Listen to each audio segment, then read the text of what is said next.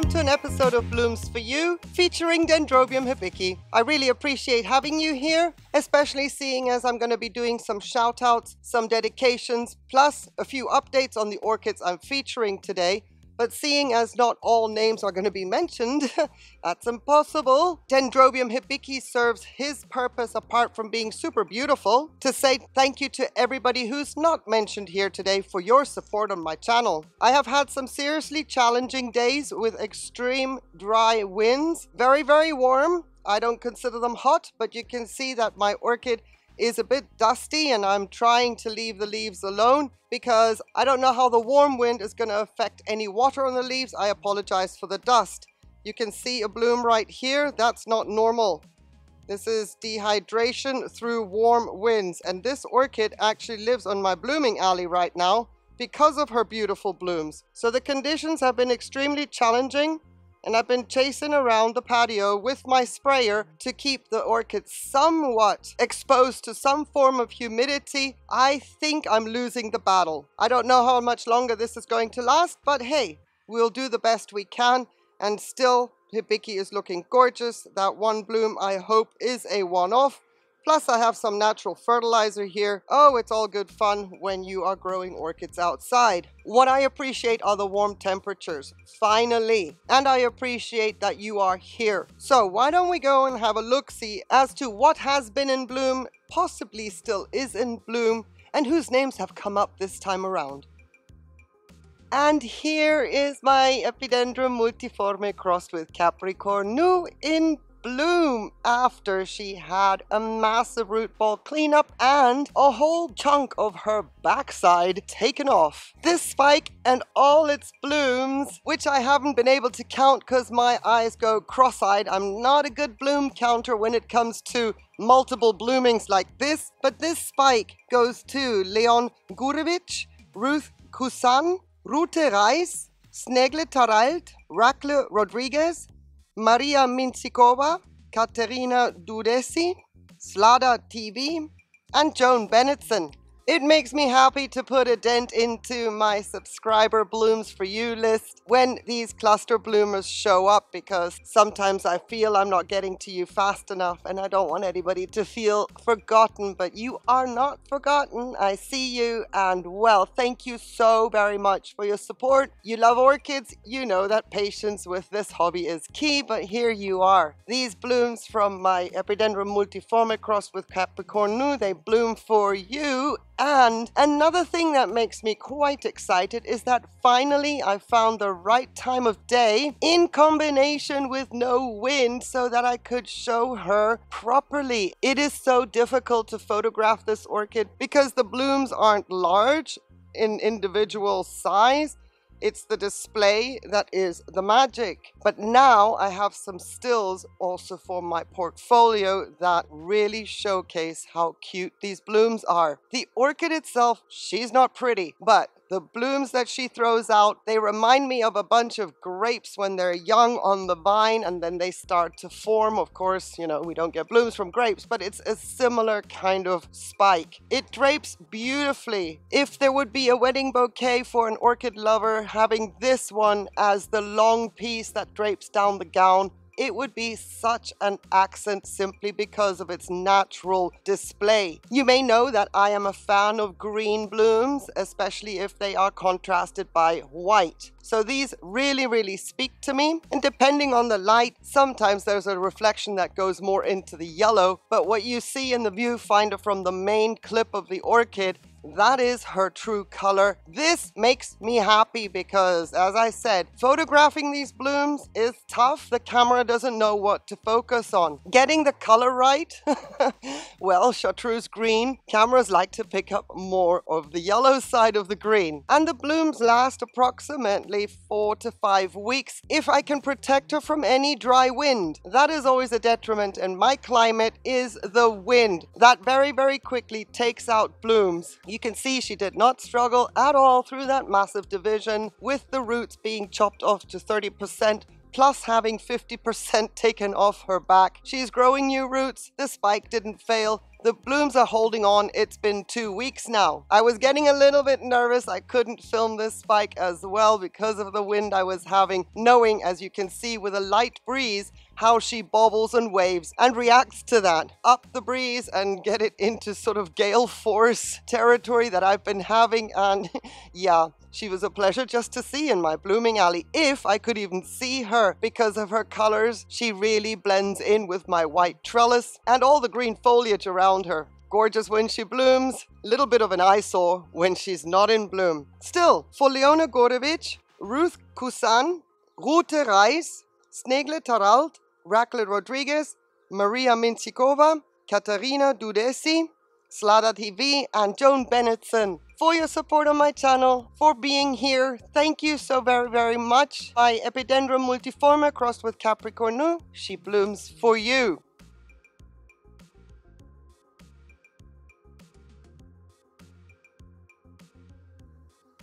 Before I get carried away with my Dendrobium Sutiknoi, these blooms are dedicated to Wasa Ahmad, Bilgehan Sarika, Julin Valledor, Kathy Pedraza, and Amelia Health Tips. oh, thank you so much for your support on my channel. this spike surprises me, makes me happy. Of course, you can hear it in my voice, seeing as it is a rescued dendrobium that I almost lost because it objected to leca and self-watering. Well, let me qualify that. It objected to leca and self-watering in my ratio of leca. I'm sure it would do well if I could tweak the leca size and get it to be happy. It is a warm to hot grower, so that has to be taken into consideration. And it is a species antelope type, as you can see. There's a lot of beauty about it, but it looks like it's just gotten out of bed because it's going everywhere. Anyway, I rescued this orchid and put her into small lava rock and self-watering. And here we are a year later with a spike. And that makes me feel a little bit giddy inside. I would have hated to lose this orchid. We know that dendrobiums are robust, but that is all relative. They can only take so much, like any other orchid can only take so much abuse. But look at these blooms. Where do I start? Where do they start? Where do they end? It's just a curly whirly mishmash of them not even knowing where they can fit with all their curly petals and sepals. I mean, the petals are curly, those are the horns, and the sepals are curly as well. They curl around the back, and it has the Elvis twist on the top as well with a little bit of greased lightning in there. this orchid is not fragrant. I did lose three buds when I did that repot because I had broken pots. They were living in pots that were brittle and I had to change that out. Lava rock is a little bit heavier than leca and it was all just a little bit dodgy for me. So while it is still nice and warm, while everything is according to their liking, I switched the pots out and well, this one was in spike and in bud. So I lost three buds and I think in a way it's a blessing because I managed to document one bloom properly with all the detail, with all the madness of all the curls and the incredible detail in the lip as well. So if we had had all the buds open, this would look even messier and I couldn't get that one still shot of a bloom by itself without also being all wonky and tangled up like some kind of little squid amongst the neighboring bloom. What a beautiful messy sight though. Absolutely adore these and for a species, if I hadn't messed up the leca ratio, she would be looking so much better and be even more vigorous. However, we've set her back. Not enough for her not to be blooming for us though. Well, let me qualify that too. Blooming for Wasa Ahmad, Bilgehan Sarika, Julin Valledor, Kathy Pedraza, and Amelia Health Tips. My cutie, gnarly, crazy, wacky Dendrobium sutiknoi blooms for you. I so appreciate your support on my channel. Thank you so very, very much.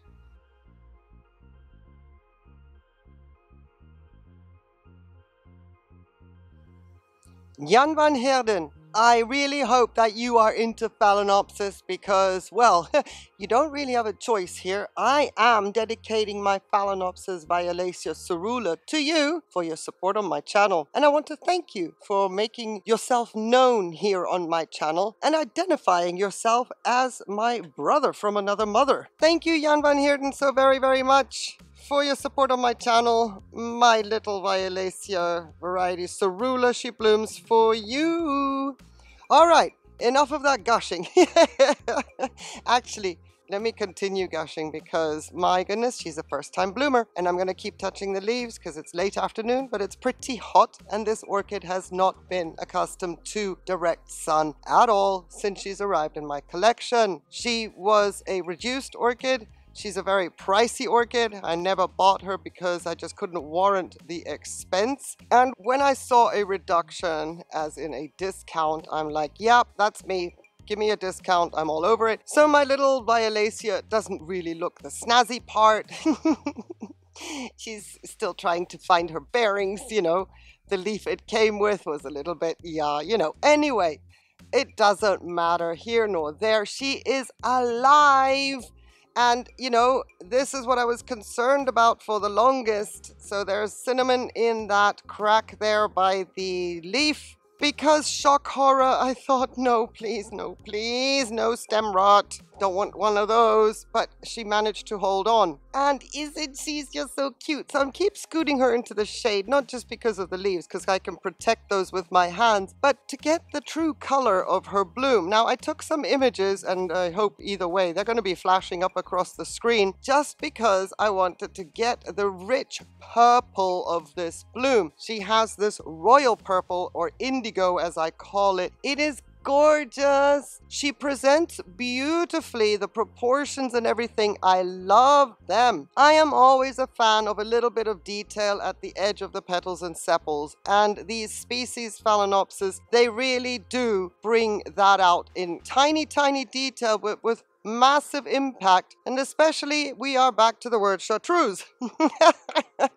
Seems like with some orchids in my collection that are in bloom right now, chartreuse is the trend, but those little star-tipped little edges there right at the end, that little detail, you would think it's unnecessary, but it just adds that little touch of je ne sais quoi, and whatever it is, it is meant to be and just really presents the blooms beautifully. Now she's only been open three three days and she packs a punch when it comes to the fragrance. Ah, if you love cinnamon, yes, this one's for you. If you love cinnamon toast, there's a teeny tiny hint of sugar, but it is more intense on the cinnamon side. That is her fragrance. Just boom, one bloom and knock out cinnamon absolutely incredible. I do keep her indoors. Well, you know, having lost one very precious summer bloomer already this year, this one I just want to make sure it recovers. And I'm happy the bud didn't blast. Talk about holding your breath. No heavy breathing around this orchid. Make sure that all the doors are closed when handling her because I had one bud forming for the longest time.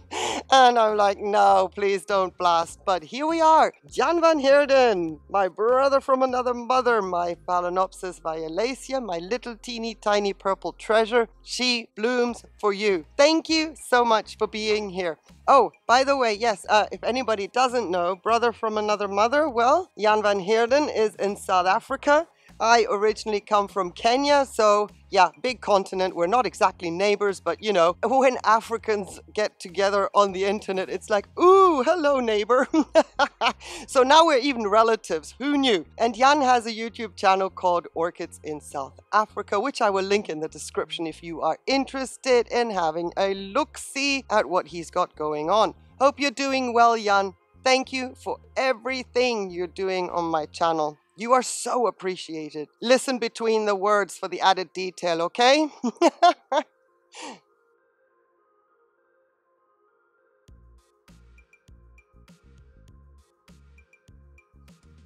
This is Laelia Kettieana in her beautiful full glory late afternoon sun. I hope that what I'm seeing in the viewfinder comes out on screen as impactful as I'm trying to capture the crystalline effect of these cute little blooms. We are really zoomed in right now, but I have my reasons because having these blooms with this light with the effect of the crystalline on the petals and sepals, I want to take the opportunity to say thank you to Haley Trussler, Nick Moore, and Anita Raj using my first time bloomer Laelia Kettieana and dedicating these blooms to you as a sign of my appreciation for your support on my channel. Thank you so very, very much. Now I want to show you what it looks like when I zoom out. I think that we lose quite a bit of the effect. There's a lot of reflection on the petals and sepals. I have some stunning photography though. I don't want to say stunning because I'm such a good photographer, but I did manage to capture some beautiful images almost at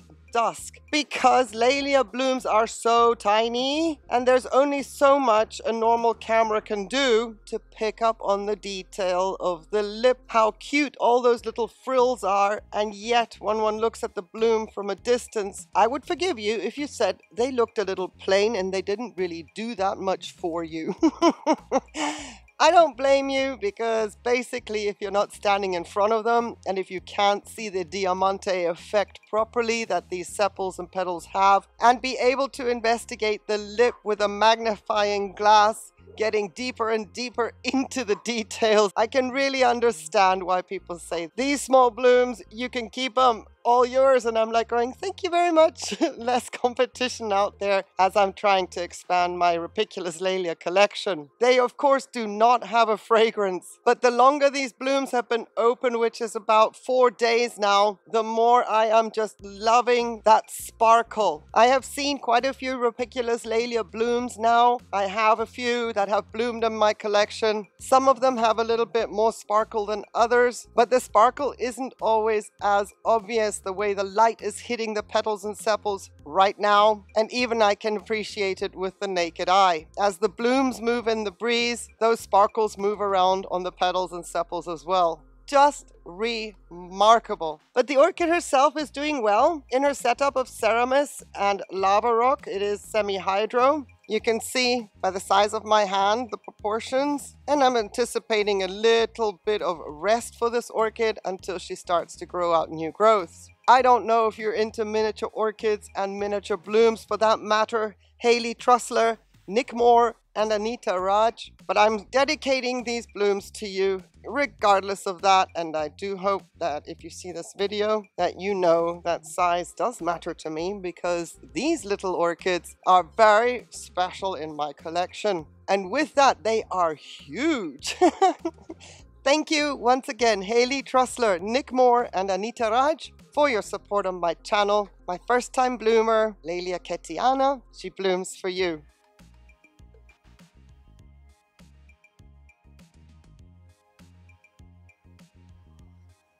One, two, three, four, five.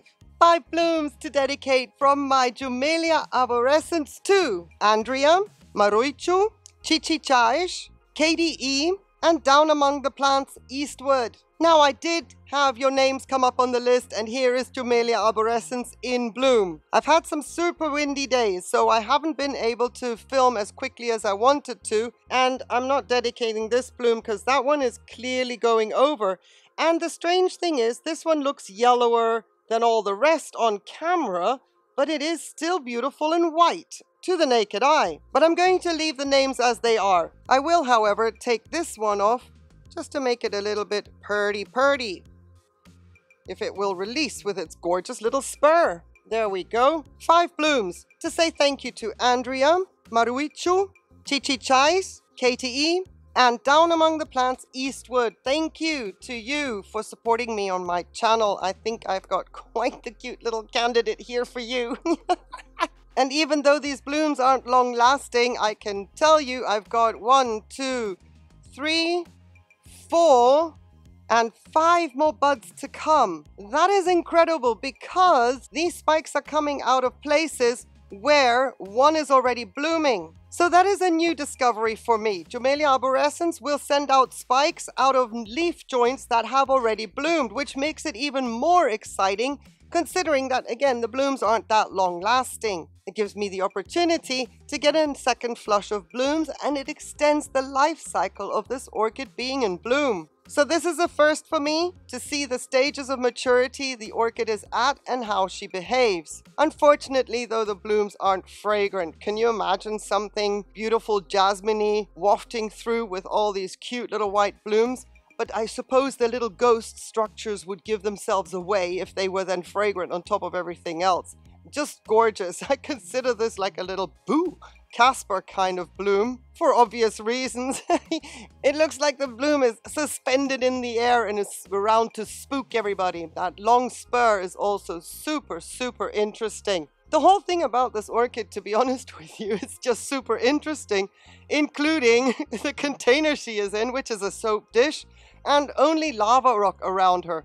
But it does the trick. It keeps enough humidity around the orchid and it retains a lot of water because once this orchid gets growing and blooming, she needs all the support she can get. And it's working out really, really well. If you're looking for an alternative to an expensive orchid top, go to your dollar store, go to the bathroom department, and then look for bathroom accessories. because it was the use of orchid tops that inspired me to look for something much more economic and, well, enter bathroom accessories and you would have the suckers in here and then you would stick that up against the wall. If this whole container wasn't so heavy, it would also make a great option for hanging this orchid up against the wall. but I don't have it that way. She is on a shelf. Anyway, love this orchid. So happy to see a new characteristic of her that I had no idea about before. So once again, this orchid, Jumellea arborescens, blooms for Andrea, Maruichu, Chichi Chaish, KTE, and down among the plants eastward. Something unique, something a little bit different, something you probably don't see a lot of on the interwebs, but something for the five of you to express my appreciation with and say thank you for your support on my channel. It is so very, very much appreciated.